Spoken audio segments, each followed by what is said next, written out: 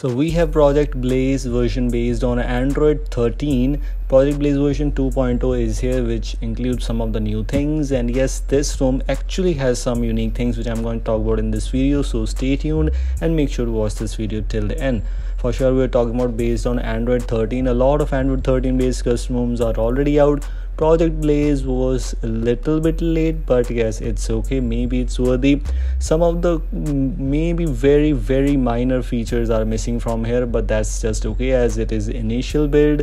Let's see which other things have been added in this version. And for my personal opinion in the terms of ui this is super good as compared to any android 13 based custom ROM so far. Maybe except Ristroid first of all if you take a look at the default launcher although even if you're using the google apps version or if you're using vanilla version.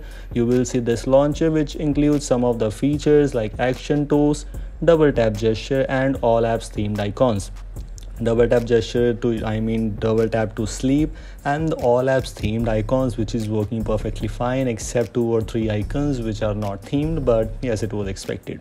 The quick settings panel is a thing like if you don't know if you installed project blaze based on android 12 or android 12.1 you saw that android 11 style quick settings panel was there and now same is been introduced with android 13 too. For me it's just super good. And as far as i know while you using android 13 i did not got any custom which got this android 11 style quick settings panel. So yes one of the positive things about using this this is a very interesting things what we have.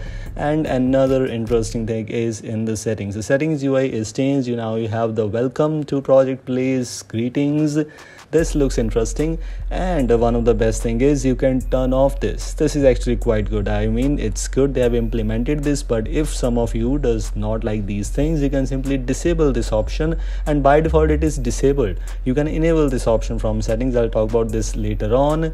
If you move on to the gestures option swipe to screenshot is there it's good playback control is there it's good but one thing little bit of disappointment like in gesture navigation we cannot hide the navigation bar pill and about the space below the keyboard no tweaks are available here unfortunately but you can use other modes if you want to by using magisk what we have is if you move on to the battery stats the UI seems quite good.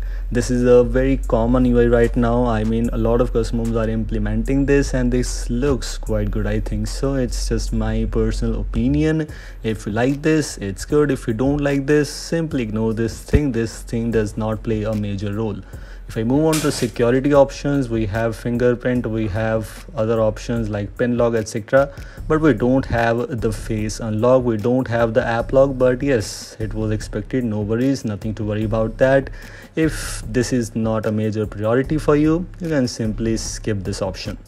Wallpapers and style also have one more thing as it is not having the pixel launcher pre-installed. So let's just take a look at the app grid options we have three options available. 3 into 3 4 into 4 and 5 into 5 which are most common right now. And yes it's good too. No extra grid options available. You can try installing any other launcher modes if you want to but it's up to you.